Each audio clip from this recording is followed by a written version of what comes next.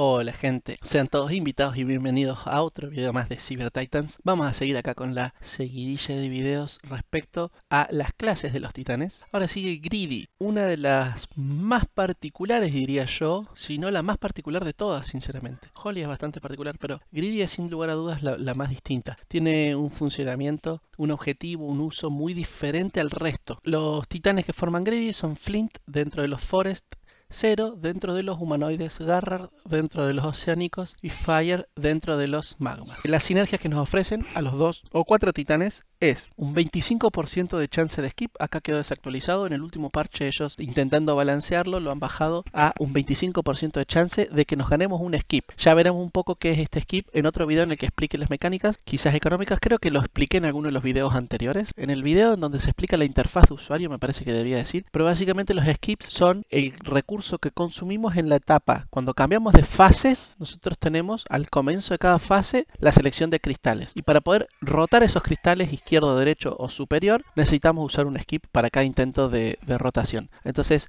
acumular skips nos sirve para llegar mejor parados a la siguiente fase para tratar de buscar el cristal que necesitemos o mejores ítems, etc. Y cuando tenemos cuatro gridis, entonces tenemos el 50% de chance de obtener un skip, que antes era 25, ahora sube a 50, esto no se ha modificado. Pero además, al terminar cada partida tenemos un 50% de chance de recibir un objeto. Este objeto puede ser un upgrade, un objeto en sí, o un metamorfosis. metamorfosis tiene una probabilidad más baja de salir, pero pueden salir todos. Ahora, se usa muchísimo eh, Greedy porque generalmente sirven mucho sus combinaciones. Por ejemplo, Zero también hace combinación con Humanoide y Humanoide es una de las que normalmente sí se usa. Entonces, por eso. Después tenemos Flint, que Forest. Muchas veces usamos algún Forest, entonces nos sirve muy bien como combinación. Lo mismo Garrard para hacerlo con Oceánico. ¿ah? Generalmente Oceánico es un bufo muy grande, entonces tener dos Oceánicos para tener su beneficio mínimo y ponerle objeto a los dos personajes que estén más adelante nos ayuda muchísimo con el sustain. Sus habilidades, Flint hace daño en área,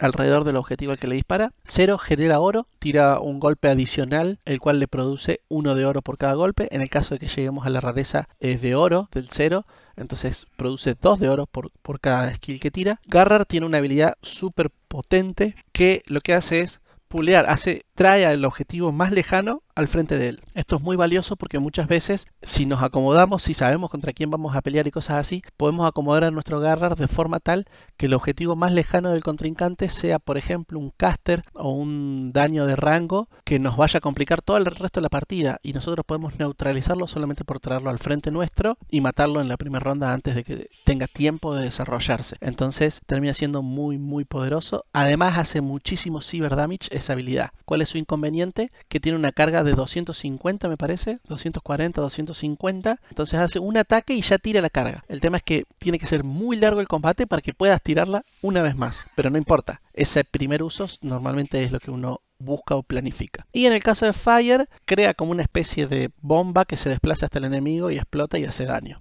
No, no es nada súper especial. Pero bueno, la mecánica de grilla en general consiste en, cuando lo usas por sinergia de 2, en acumular skips para poder tener más facilidad en la fase de cristales. Y cuando lo usas en sinergia de 4, básicamente estás jugando el RNG de obtener o no con ese 50% de chance esos objetos, además de ir acumulando los skips. Yo lo uso mucho, lo uso bastante. Generalmente si estás en una partida de un elo o de un nivel similar, una persona que vaya por greedy debería ir perdiendo o haber tenido mucha suerte y que le salgan, por ejemplo, todos silvers o buenas composiciones o buenos ítems, pero ante una suerte similar y ante un conocimiento del juego similar, quien vaya por greedy debería ir en la desventaja en general, sobre todo si vas greedy 4, ¿no? Ahí tenés mucho lastre en cuanto a tu composición. Pero eh, la recompensa es que si ese 50% se te va dando a favor, vas acumulando muchos objetos que a la larga vos podés vender tus personajes greedy para pasar a otro tipo de formaciones iguales a las de tu contrincante, pero con el doble o más de objetos. Y ahí es en donde haces muchísimo la diferencia, así como con mejores cristales. Eh, se usa, se usa muchísimo.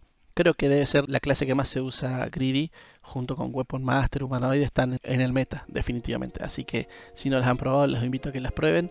Si pierden, no se aflijan en tanto en cuanto hayan aprendido algo. Espero que les sirva la información. Un saludo.